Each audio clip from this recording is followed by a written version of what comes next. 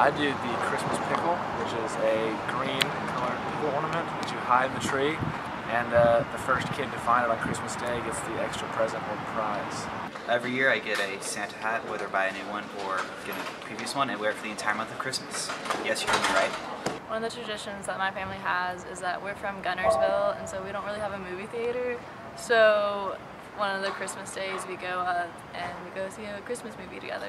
We usually invite a lot of people over. Um, we always have a lot of food. It's kind of like Thanksgiving, but with presents. Everyone in my family decides to trade Um, an ornament with each other.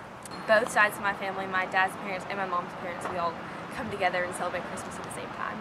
We'll get up and make a big breakfast. We're all like like biscuits and eggs and bacon. About 12 o'clock, everybody goes underneath the tree. We actually open our presents on Christmas Eve because we go and visit family on Christmas Day. So. Um, yeah, go ahead. Okay, every year we do a white elephant and it's with our whole family, so it's really fun. We get really crazy gifts. We always go to our favorite Christmas tree farm and pick out a Christmas tree and cut it down together and take it home and decorate it.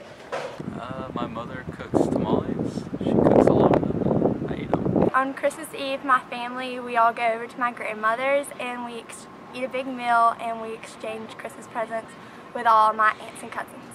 Christmas tradition, I guess for the last 10 years, uh, my son Joseph and I will go out to the Robert Trent Jones uh, golf course here at Grand National and play the, the par 3 course. Every Christmas Eve we play, uh, whether it's cold, whether it's raining, whether it's sunny, and, and, you know if it's sunny that's fine too. We play the par 3 course. It takes about two and a half to three hours to play golf, and for the last few years he's beaten me. So this year it's, it's time for, for a little payback.